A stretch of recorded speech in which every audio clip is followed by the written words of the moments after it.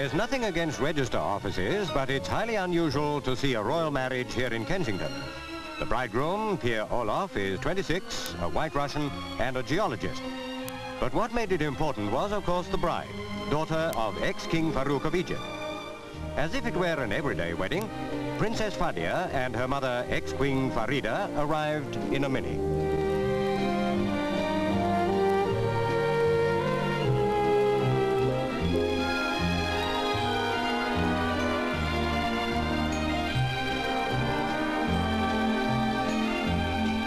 What a different scene it was in 1938 in Cairo when Farida married 18-year-old Farouk. He had then been only two years on the Egyptian throne. A lifetime in royal splendor seemed to be opening before the beautiful bride of the young king. But eventually he divorced Farida, married again, was deposed and exiled.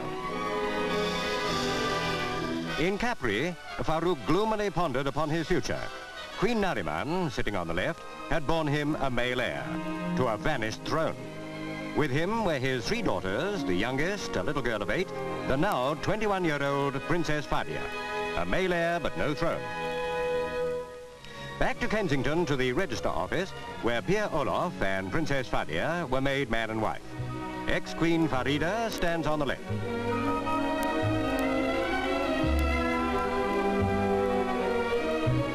To the bride, the glories of the Egyptian monarchy can be no more than a faded memory. A free woman, Fadia has been able to marry the man she loves. And what are palaces and processions beside true happiness?